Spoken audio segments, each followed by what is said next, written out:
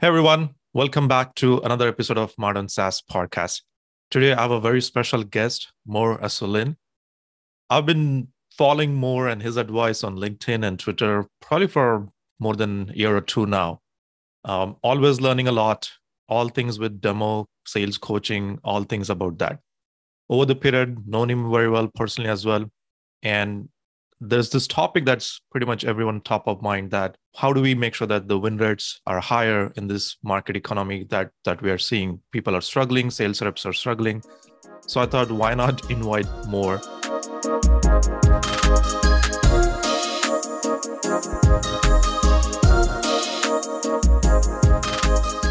Hey Mor welcome to the show.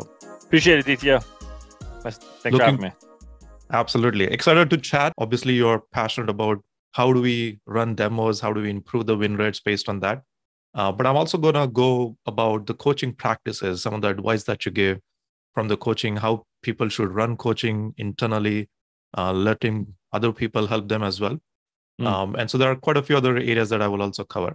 So why don't we start with the key topic that i mentioned?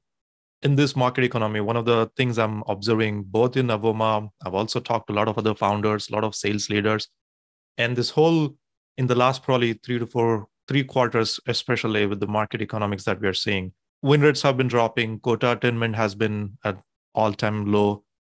What's going on? Why do you think people are struggling in this economy, especially?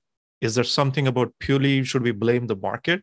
Or is there some responsibility that reps and the sales leaders should be taking and few things need to change to handle and address this kind of the situation or experience they're currently experiencing? I think it's a little bit of both.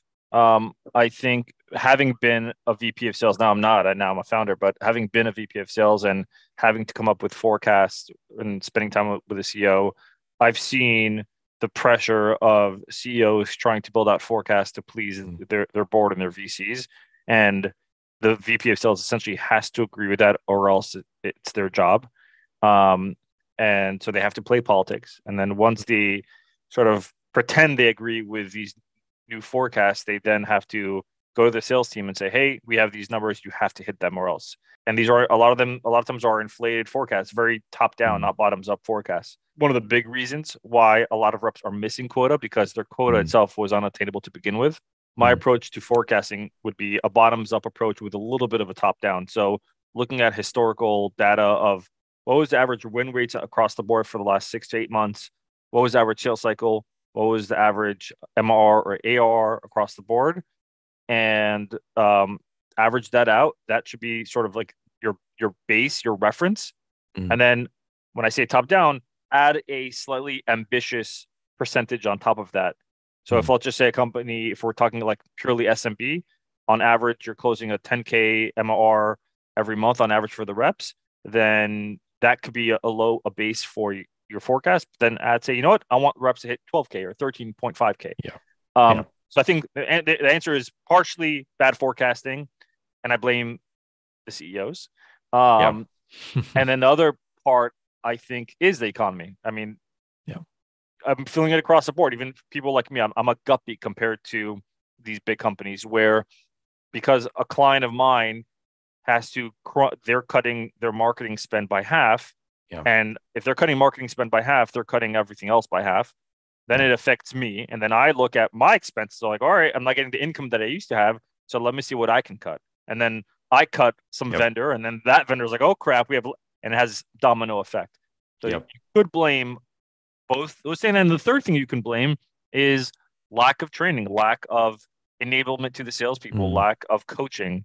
Uh, there's a company, I won't say the name, very well known company very big in the space that I spoke to one of the sales reps in confidence, and they told me that their manager has 16 reps under her, and the last time they had a one-on-one was a, a, in the previous quarter. Um, That's crazy. And so, and and even the, the managers that are coaching, a lot of times they don't even know how to coach. Then I talked to a lot of reps. I spoke to reps the other day. He says, uh, you know, I joined the company. I'm now an AE, but uh, there is no material. There's they're like, hey, go figure it out. So I think yeah. it's a, a, blend of both of those, uh, both th- th- those three things. I, I, love the way you said it's not just uh, if the reps are not hitting the quota, not meeting the numbers. Um, you're right. the primary responsibility, the leadership. Um, both CEO, people like me, having these ambitious goals, or we commit something to the board, we need to be upfront and transparent. What's going on? What are we seeing? How many team members we have, and based on that, really have an attainable quota. Now, one question I would, I'll give you my other perspective since you brought that up. Um, when I obviously operated Avoma, we have been experiencing some of these challenges ourselves as well. And one of the areas it also comes down because in 2021 and the last couple of years, we had seen there was the market was frothy. Uh, there was a lot of capital in the market. So mm. salaries were really, really high. People's expectations were really high. So, and when you think about the quota, there's also an inbuilt, some is, I would say, a little bit of uh, benchmark or formula. Okay, that's if this is your OTE going to be on target income, then based on that earnings, then this is how much your um, quota should be. So to your point, yes, we could reduce the quota, but then you're also looking at well, how much are we paying the reps? Um, the reps I've talked to when I was interviewing, a lot of people when I'm reaching out to them or when they're in the inbound uh, hiring process, they will ask me the base right after the gate. How much is your uh, and these are two three year people had insanely high level expectations. So I used to also feel that well, I'm willing to pay you if you're willing to close this much quota or the number of deals what in your experience should be and this is again across the board different size of industry so i know the answer is not just one silver bullet answer but what's typically the guidance for leaders like me to say that this is the multiple of quota attainment you should expect if you're paying this kind of base? Should reps think that the salaries that they were expecting in 2021 um, or 2020 as well were higher now and then the market should come to normalcy if the quota needs to be reduced should the comp needs to be adjusted or the expectations are itself wrong the benchmarks that we see the 3x and 5x and all of that stuff compared to that how what changes have you seen there? I mean i haven't i haven't been in the vp of sales role for about 18 months um, so i can speak based on my experience with the clients that i work with. Yeah. um, so you're the question i'm going to repeat back the question to make sure i understood. If we're going to readjust the quota to make it call it more attainable, more realistic, should the quota then go down, or should the base plus commission go down? Is that the question? Yeah. What's the multiple that people should expect? If the comp is certain thing, there is an expectation that multiple of that quota. You can look at the quota from the win rates and all of that. And you can say, well, last month we only closed this much. And so we can expect only this much. And that's the way of doing forecasting. But then you're also looking at when it comes on top down, my top down most of the time would be okay, what's the comp? A multiple of it. What's the multiple of that? And this is what we should be expecting. Yeah. that's why I don't like a top down approach. I think yeah. it was Mark. Uh, I can't. I, I, can never pronounce his name. He was the zero, no, no, Cause Kosoglow. If I'm right. Oh yeah, yeah, yeah. The yeah, outreach one. Yeah, yeah. He he made a post on uh, LinkedIn last week or two weeks ago about the different models top down, bottoms up, et cetera, et cetera. And as I was reading, I was like, I hope he doesn't say top down is the right approach. And he didn't. He actually hate, hated the top down. That's why I don't like top down because it's all made up. Everything's yeah, it is. made up. And so quota is based on a multiple. And so it's unreal. It's just, that's why I don't like it. Um, if I were to be a VP of sales again, or far right recently, I just uh, uh, advised a company they were needing to do a better comp plan. I said, keep it really simple to understand for the salespeople and don't overcomplicate it. Just look yeah. at your performance for the last six to 12 months, eh, you know, six to eight months, six to nine months, reverse engineer that. How, how much money did the reps make on average from on, on commission on new revenue? Mm-hmm. And then what's the fair base? Uh, what's the fair pay for a rep for base salary in with their experience 45k 50k 60k whatever it is and and that's and that should be your number. That is the most realistic approach to take. Hmm. You can even get a little bit ambitious and put in an extra goal on it. Plus, if you have any accelerators where they exceed quota by 125% or 50 whatever it is, then you can have accelerators. But I, I like to keep it simple. I think it, once you get into the whole multiple place, it gets really complex. And this is good advice. Yeah, I think what's essentially you're suggesting is that um, a lot of the times we read these multiples that other leaders other people are sharing and then those multiples probably worked in some other industry or some other market Period of economic time, yeah. condition period of time and a lot of the times it's just looking at your own current state your own current financial situation uh, be fair as long as you be fair with the compensation have the data for past performance and Yeah. then make sure that that's how you're setting the goals as well I'll tell you, when I was when I was VP of sales and I was hiring, one of the questions I asked up front, I like to talk about money up front. That's why Yep. the, the old school interview process, we don't talk about money until the end, until you're qualified. yeah no It's it's uh, yeah yeah. Talk money, talk about money up front to to not waste time. So I would ask the reps, hey, what's your what, what is your expected what is your minimum what's your base I won't say what, what's your minimum what's your base pay what what is what would you like your OT to be and then I'll tell you what hours is and you let me know if that works for you I would say that right up front I would I, would- I would start actually putting it in the job description I, in the Yeah. job description I would not hide what base pay is I would add what the base pay is what OT is what percentage of quota is um, where the leads come from what average sale I would put all of that in the job description so the people that are actually applying are the ones that have read the job description and are probably highly qualified. 100% Um, i love that And so that's that would be my recommendation. And then, yeah, I mean, it's it's simple. It's it's not complicated. No, I love that. So that's one thing we could change as a leadership. The second thing that you also mentioned, obviously, there is element of the coaching and the reps probably not doing certain things right as well in this market. Um, one of the shifts I had seen when the markets were frothy, everything, the capital was there. There was a little bit of element of the buyers were also more forgiving. They were like, okay, I want to buy anything. They were not pushing as much back. And the reps were, in some sense, in an order taking mode. Uh, yes, some reps would sell actively, but a lot of the times there was so much demand, so much was there. Just show something and just buy it. What are the one of the things I'm seeing right now? More competitors. So buyers are evaluating more providers. They're not just going with the brand name, or sometimes they're not going with the cheapest. They want to really make sure that they're investing properly. And then more objections are coming in. Uh, sometimes the concerns about the ROI are also coming in. If it's not apparent, evident, then you have to handle those objections. So I'm seeing more and more the order taking days are pretty much gone. What should then AEs should do? Maybe in the discovery or demo, maybe two or three things that were different that they did early on in this economy that now they have to absolutely nail these couple of things down. What comes top of the mind? The first thing that, that came top of mind is, and I, regardless of the economy, they should do this, but it's harder to do when you have so much demand. When people are like, take my money. Yeah. Um, it's bringing up the FUD, the fear, uncertainty, and doubt. So, in other words, Mm. the objections that you know your prospects are thinking about, you as the salesperson bring it up, call out the elephant in the room that you know is going to be called out later on. That's the first thing. Don't set up next steps at the end of the call. Set up next steps in the beginning of the call.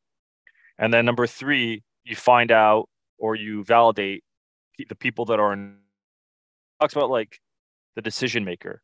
It's such a, I think, a very outdated, old school way of thinking about sales decision maker. I'll give you an example. You roll out of um, you're talking to a VP of sales and you want to roll out Avoma for their for their sales team, right? Even though it's for CS, but let's just we're going to go sales related right now. Now the VP of sales is going to say, hey, you know, what, let's do a trial, and and the VP of sales has frontline managers and some salespeople, and what th- their use case is, they want to make sure that the manager it's easy for them to use when it, when coaching for the reps to use post demo or post discovery call to take the notes and put into Salesforce, whatever it is. Yeah. Now, who's that? Who's the decision maker? By definition, it's that VP of sales. But really, who's influencing the decision maker? It's really the salespeople and the manager. If the salespeople tell the manager this sucks, and the manager says, "Wow, this sucks," the VP of sales decision is this sucks. So I think we have to get away from seeing talking about decision makers and talking about the, I call them influencers. Who's influencing the deal? Um, if I'm going to uh, uh, buy a present for my son and he hates it, I'm going to return it, even though Yeah. I'm the one that makes the decision. My son makes the decision, really. Um, No, I love that.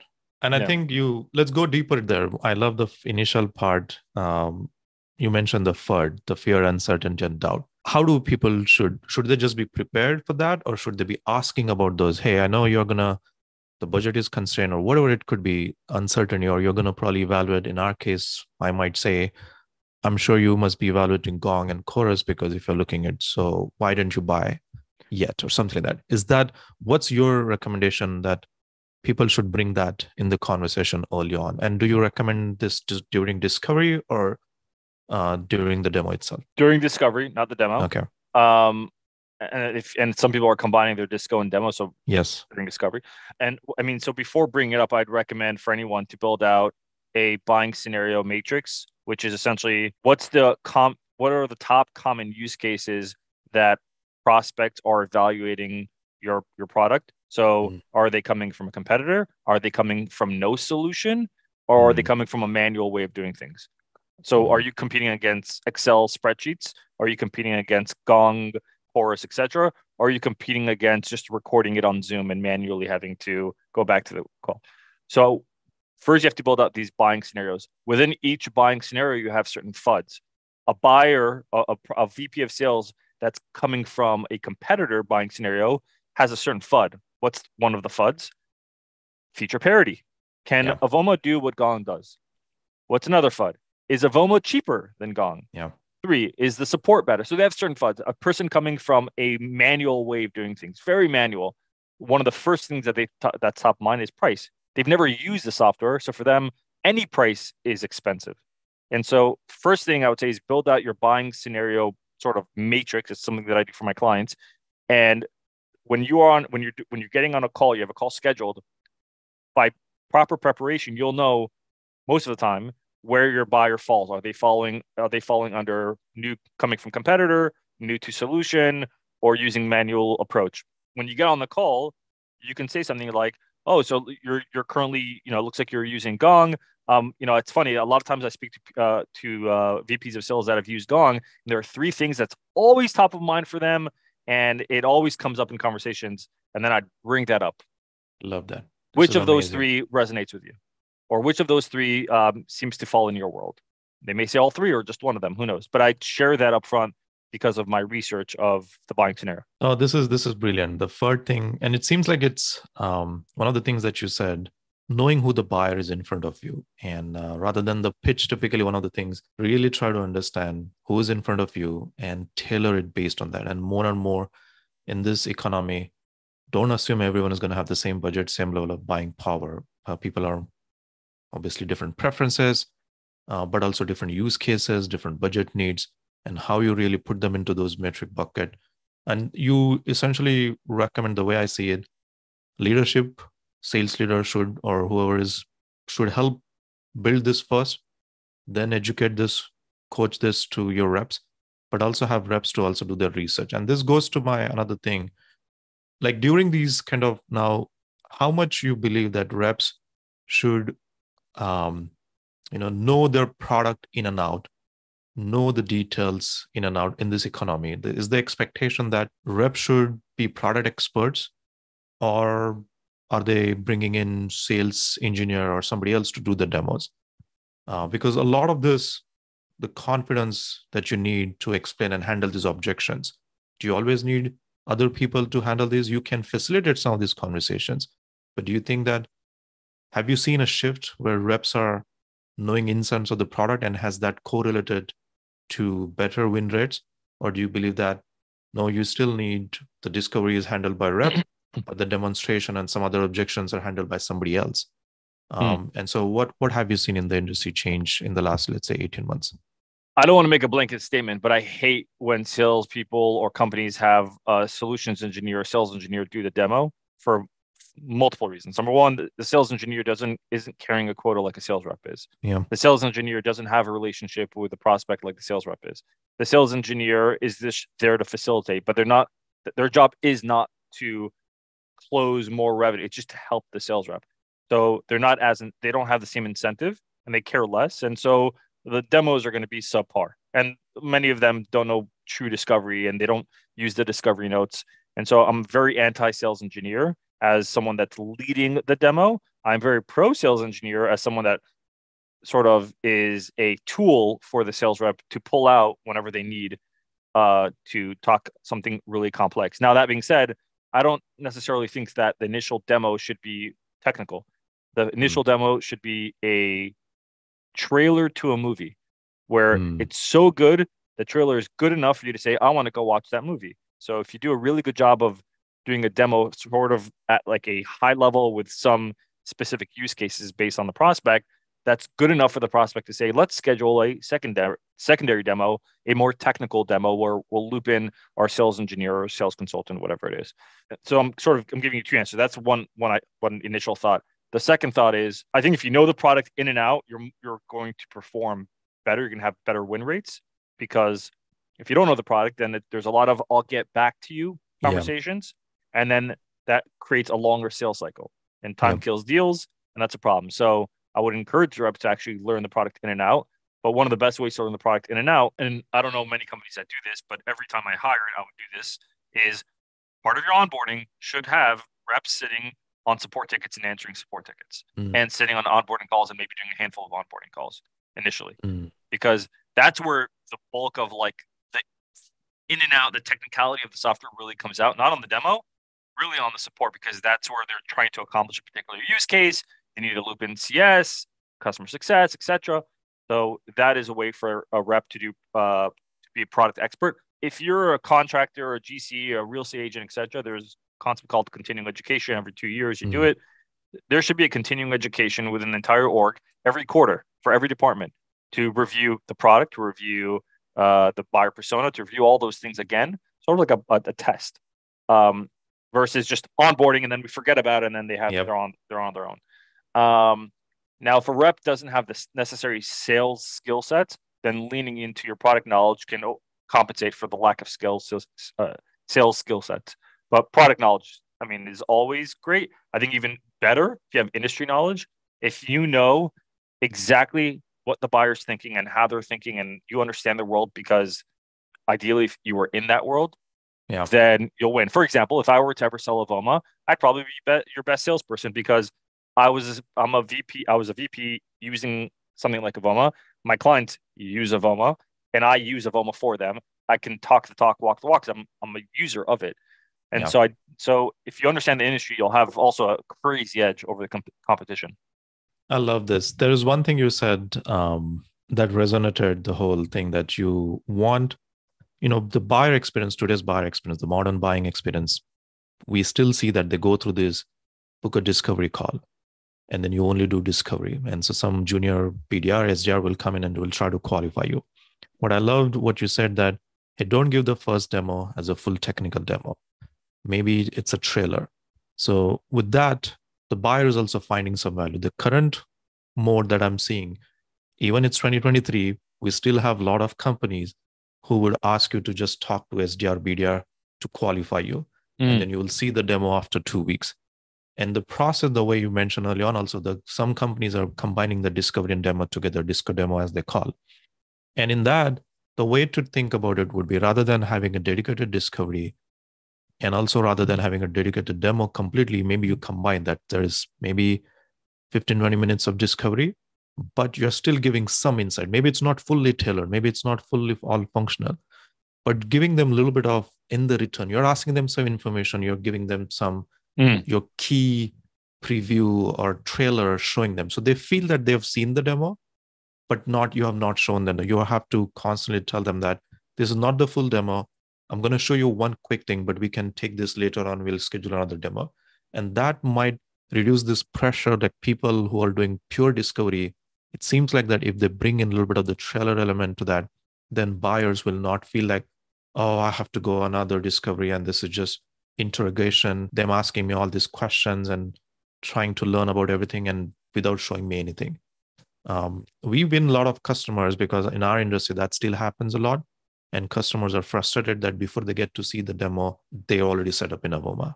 And mm. so I see that if a modern, have you, do you recommend this to you when your clients that, hey, reduce this number of steps and maybe this will provide a better buying experience? Because you have been buyer also, you go and buy certain software what frustrates you what's the modern buying experience that you think that people want today there's, so there's a lot of from the top of funnel that i'm seeing in the last two weeks i've been sort of like auditing a few clients' websites mm-hmm. from like a if i were the prospect what am i seeing so they have and this is very common they have mm-hmm. the main call to action on the website is schedule a demo so you click on schedule a demo you fill out your information Thank you We'll reach out to you mm. i thought i was scheduling a demo i thought you're by by definition, scheduled demo means I'm able to just pull up the Calendly and book my, and my time. Yeah.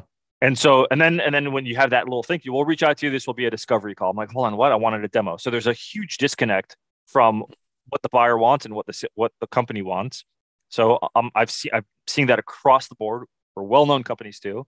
And then what happens? You get an automatic, you get an email from the SDR that says, "Hey, Mor blah blah blah. Uh, if we spend 15 minutes just to learn a little bit more about your call." So they block out actually 30 minutes on the calendar, and I've done. It. I went through the whole flow. I get on the I get on the call, the discovery demo call, whatever you want to call it, the discovery in their definition. Yeah. And my calendar is now officially blocked for 30 minutes. They're like, oh, so what brought you over to our company? Blah blah blah. They ask maybe one or two questions. And they're like, okay, so I'm going to set you up with our account executive, executive to do a demo. That entire call took five minutes. I blocked out 30 minutes on my calendar. There was actually no discovery. They just wanted to make sure I'm a real person. And now I have to wait for AE. What a shitty buying process. And um, they're making it really, they're, they're, it's funny. Companies, and I tweeted this the other day, companies are trying to improve salespeople's ability to sell when they should make, they should really improve or make it easier for the buyer to buy. Buyers don't want that. They again, it depends how complex. If it's a let's just say a 200k plus deal, they may not want a full fledged demo. The buyer probably wants to also understand if this is a fit, but they at least want a taste of. Hold on, I, I need to visually see. It, I need to conceptualize it. Um, but the whole top of from, it's all broken from the top of. I'm seeing it left and right. Plus, there's another one I saw yesterday schedule a demo. I'm like, okay, great. So I go to schedule a demo, takes me down to a form. There's about seven fields I have to fill out. The first three to four fields definitely showed it. It was the first name, last name, business email, and phone number. And and side note, a lot of companies are not putting phone number as a requirement as a field when they should, because if you don't, you're limiting your follow up to just email, and that's just going to destroy the follow up process and kill your deal win rates. You want a phone number, you want it required. And so I filled it out, and then I clicked next takes me to a Calendly page. I'm like, all right, great, Calendly. I pull up, I put up my, I, I schedule a date and time. What happens? Part of Calendly is a form that pops out with five more fields. Questions. five more fields. First name, last name, email, oh company God. name, phone number. I'm like, and it's not even pre-filled. You have to fill it out again.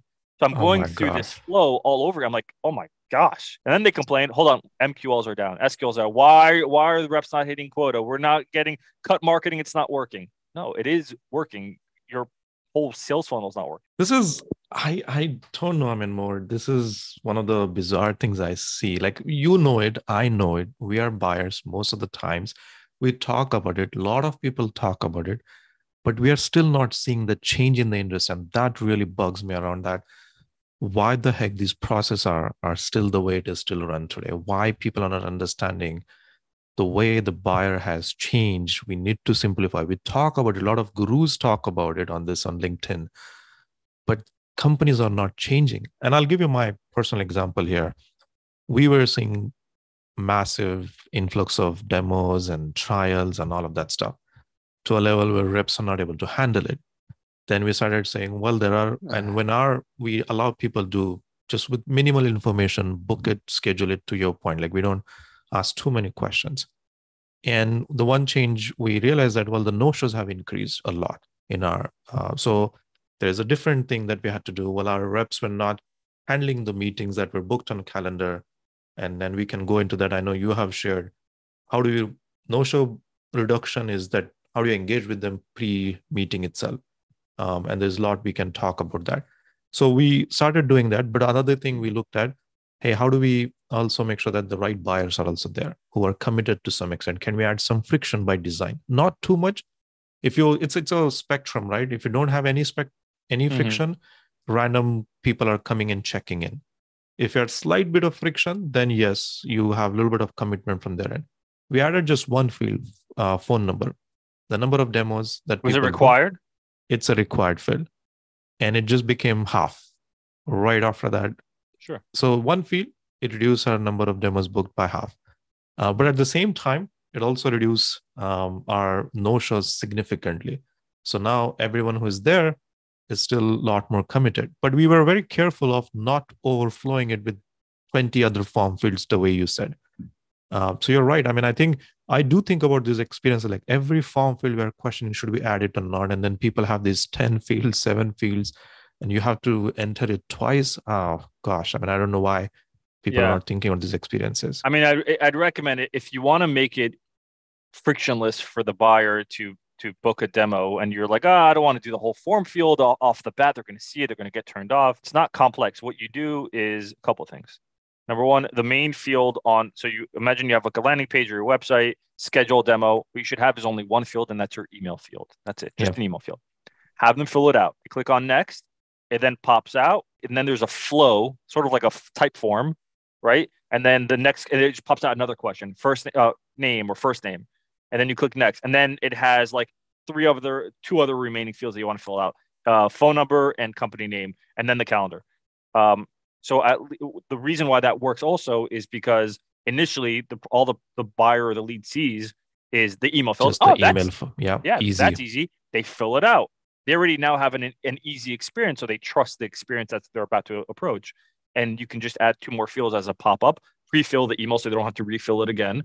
Have yeah. the Calendly, and that's it. I love this. I love this. And even the way you said, some of the fields can be enriched by the data enrichment tools. Like you get the email, send the request to Apollo, Clearbit, and get the phone number and some additional information so that I don't even have to fill that. That that's even magical experience for me. Yeah. Oh wow, you already know me. You already filled it out. I don't have to deal the company name. All these are basic information. All these data yeah. providers are there. I'm noticing um, it now. There is yeah. there is and, and I, I know I think I know why it's happening. The on a, a demo request form or a contact sales form, there is they require a company email address, and then they also on the next line they put a field for company name, and it's a requirement. Huh? I've, if I work at Mor at avoma.com, well, isn't avoma.com the company name? And so why exactly. not enrich that field? HubSpot does it when you fill out an email; it yeah. enriches the company name. Why not do yeah. that? Yeah. So I think uh, even we now, I'll go back and have another action item to simplify our demo booking experience even more. Now, going deeper into the demo experience. So one of the things I, I know you're passionate about, you started from demo to close, purely focus on the demo experience that the rep should be doing. And uh, it's what, slightly changed since then. tell me more. What what has changed then?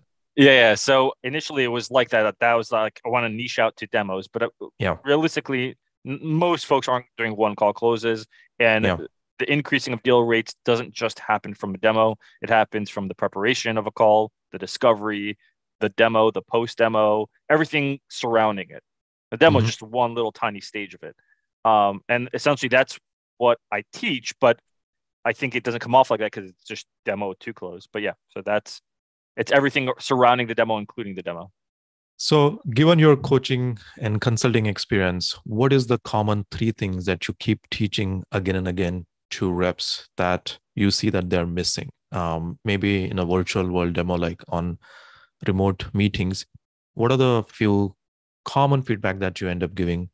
Here are the three things that you have to nail down no matter what. These are like, do not compromise on these three things. What would be those?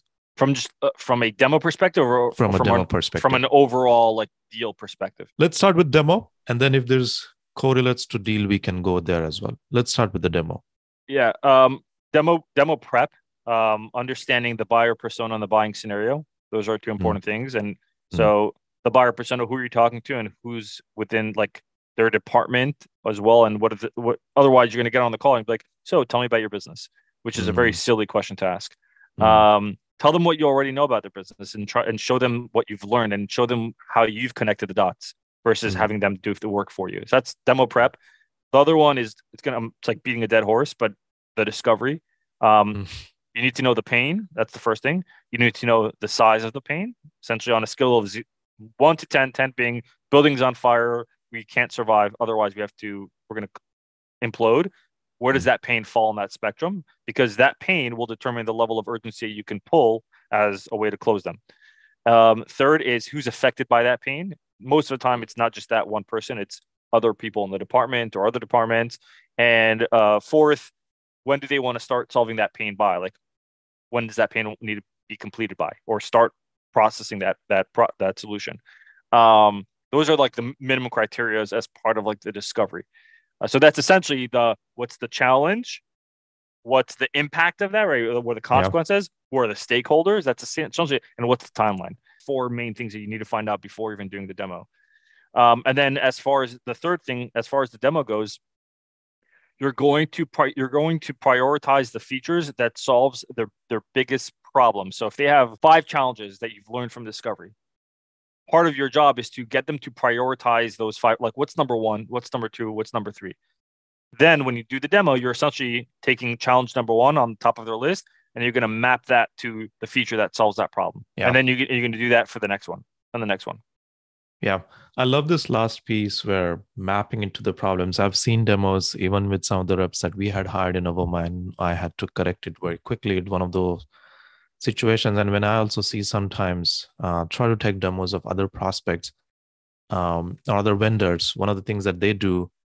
So sometimes reps will go in the settings mode and they'll try to here's what you do, how you set up your no, account. I can't stand. I can't stand that. I'm like, I don't need to know the details, bells and whistles. How do I, what is the get started thing and the steps and the settings? To your point, the trail, that analogy works really well. That give me the trailer based on those two problems, pick one or two problems, and then ask me which problem do you have? Let me show you how do I solve that problem in this workflow. Yes, your products are comprehensive, you have lot stuff, and we are seeing that right now. You can't cover every single thing in that 30 20 minute demo that you want to do you probably need more time but uh, yeah you're right i mean starting from the problems and really trying to give that aha moment wow moment in those first two things you can do all the settings part in the onboarding part and you can always call out that hey if you ask questions i'll show you but why you are going and starting with that experience itself like it was kind of uh, feature dump was all yeah. over the place it was crazy i think so reps that even would follow that framework will say, okay, well then I'm just going to start showing them the features that solve their problem, and then they just go into the features. But my my suggestion to them, my sort of my challenge to them is, don't just talk about the features, even though if that feature solves that problem, you need to make it so obvious about. You have to almost like narrate what you're doing, narrate mm. the demo yourself, not just narrate the features. But I'll give you an example. Um, let's just use Avoma for example, and a VP of sales is evaluating Avoma because there's no way he's right now he doesn't have access to listening to the reps calls. Let's just say we'll keep it simple. Yeah. Let's say that one of the features would be um, the call recording and the transcription, right? So as VP of sales, as a, if I were selling Avoma, I would say, give an example, like, hey, VP of sales, you said earlier that you don't have access to uh, the the calls that they have. It's a very manual approach. You have to manually like jump in through Zoom, and it's you, you need to see the transcription of what they said and how they said it. Um, so what I'm about to show you will allow you to actually do that thing that you wanted to do. And I'm I'm literally telling them what I'm about to do and why I'm about to do it. I don't just show it to them and make them mm. and hope that they realize why I'm showing it to them. I'm I'm not relying on that. I'm I'm being really exclusive with it. You're basically literally taking them, guiding them, and helping them imagine the world. It's an imaginary world they are envisioning what's that state is going to be because people buy things for better version of themselves um, and so you're it's a promised land it's a dreamland which is real and you're saying that hey you are here and i'm gonna let's take you to the tour of your better version that you're gonna see and then you guide them this is how the life would be much better yeah it's like i'll tell you when i whenever i go traveling um, anywhere um, I open up a Google sp- uh, spreadsheet and I mm-hmm. list items of my, what I'm going to pack. Mm-hmm. And then I usually it's on my phone. So then I'll go to my suitcase and I say, I look at the first thing on the spreadsheet, like, okay, number one, socks. Okay, so I got to get socks. I go to the closet, pick out socks, mm. throw in two socks. All right, I said I needed two socks. I packed two socks. Check. That's essentially what I'm doing on the demo. I'm being very, mm. like, I'm talking it out. You said you needed this. Let me show you how to do that. Boom. Does that work? Good. Next. I'm saying this all out loud on purpose to show the prospect that I'm I'm we're mapping it to I'm I'm I'm taking you by hand and I'm showing you how to do this versus just it. saying, hey, let me show you this feature. This feature does this, this, and that and hoping that they understand why I'm showing that. I'm telling them why I'm showing it to them, not just the narrative part is the big one. That telling them, guiding them constantly that this is what you're gonna see next. This is what I'm showing right now. And this is this why reason. I'm showing this to you. Yeah, exactly. correct. The why is the important piece as well. Right. The what, that. the feature itself is the actual what you see on the feature, not the biggest deal. It's the why, it's the narrative before that and after. And the way I would say that you can go deeper into the what and other uh, the details of it, but let them ask it. First, make sure that they're excited about to go into that detail. And then if they ask more questions, that's great. And then you can continue to go and show more details, but don't throw before you ask all those questions. Um, so I love that.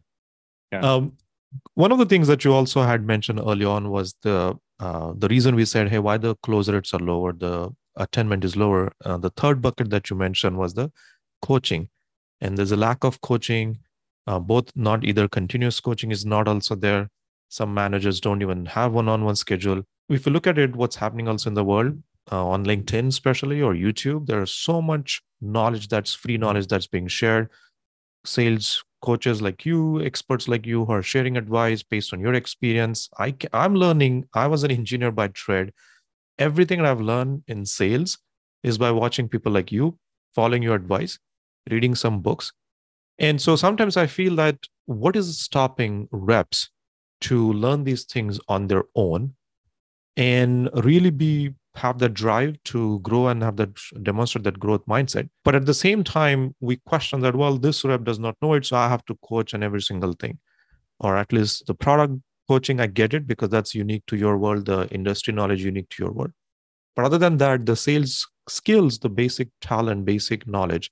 So, how much do you believe is the responsibility of manager or leadership to coach the reps? And how much you believe now and is is it shifting? Is it i mean again you might say 50 50 aditya. Both those the reps should be responsible to do get better um, and at the same time managers should also take some responsibility. But i'm seeing the gap here. The reason is that sometimes the reps are not either driven and then on the other hand the managers are not driven.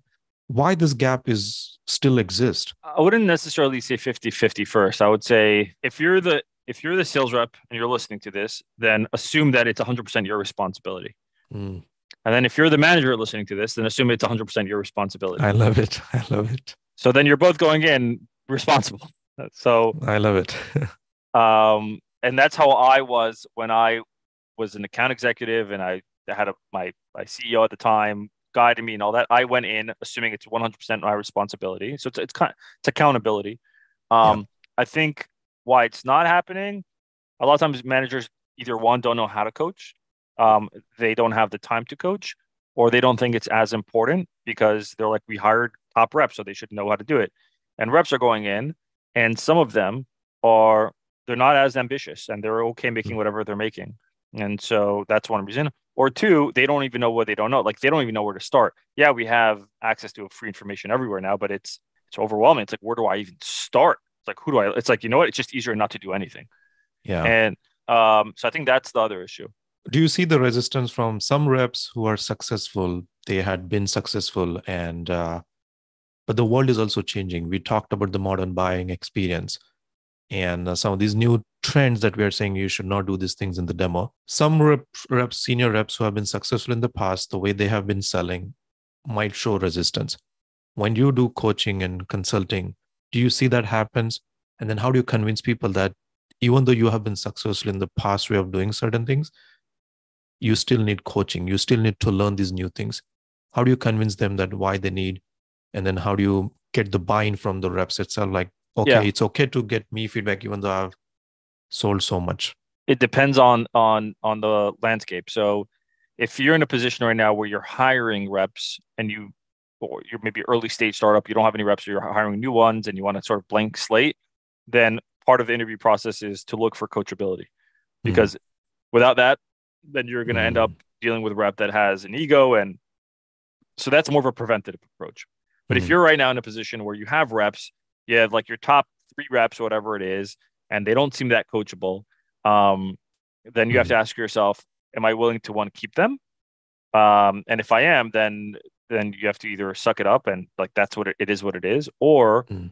um, you have to coach them differently so usually the reps that have been performing well they don't need the same type of coaching that you would give someone that isn't performing and they they need different type of support different style mm. of coaching and that's so I, I wouldn't go into coaching as like since you know you want to coach discovery i'm going to coach everyone on discovery No, yeah. if the reps, if the top reps are hitting their quota and above quota, don't go in trying to change the way they're they're closing. They're doing a good job.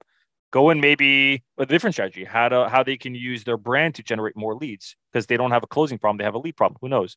Um, so I would contextualize the coaching based on I love this advice. coaching. I love this. No, this is phenomenal. So the even as a manager, don't make coaching program common for all. That's when reps will yeah. probably lose the trust that for hey, sure. why the heck they're asking me to do things that I don't need. Make it personalized. That's yeah. what you're suggesting. Yeah. I'll give you an example. There's a I have a client right now. They have 13 account executives, three of which, no, probably four of which are like, sure, more coaching would be helpful, but knowing they're they're hitting their quota and above quota, they're doing well, they're carrying the team, um, which is not necessarily the best thing, but they're carrying the team. Um, yeah. And so I stopped coaching them in the same frequency as I coached other reps. So instead of every week or every other day, I'm coaching them maybe once or twice a month. And mm. it may be only 15 minutes of like coaching feedback. And then the rest of it is more like deal strategy. We'll, we'll like talk, we'll go over a deal that they're working on and try to figure out a game plan to like move the deal forward. So it's not like, hey, you needed this, you should have said this differently. We talk like we come up with a game plan. The other reps that are not performing, they're not ready for the deal strategy. They need the fundamentals. They need to ask better questions. They need to add, you know, ask for the close or set up next step. We'll work on that. So contextualize it. I lower the this. frequency, lower the uh, or change and and change what you're coaching. You don't have to coach. You don't have to coach the call. You can coach the deal. Two different things. That's awesome. We're coming close to here. I have two questions that I really want to ask. One of the things I've seen you say multiple times that call recording tools, intelligence tool like us, and you you believe that just having a call recording and intelligence tool does not mean that you have coaching culture. Uh, giving recordings of previous calls is not going to help the onboarding. What are the two or three things that you would advise? Hey, here's the routine. Here is the habit that you need to build uh, as a rep to continue to get more value from call recording tools, or even as a manager that they should be working in what capacity to get the value from these tools. Like just having a recording tool and expecting reps to go and listen on their own is not sufficient, but they need to follow these two or three things to get the most value and truly build the culture that an organization have? What would come top of your mind? First thing is, mo- I don't say most, but I'm going to use a blanket statement. Most managers or whatever it is, sales leaders, when they're using call recording tools and they're coaching the reps, they're mostly t- telling them what they should do, like mm-hmm. what they mm-hmm. need to improve on.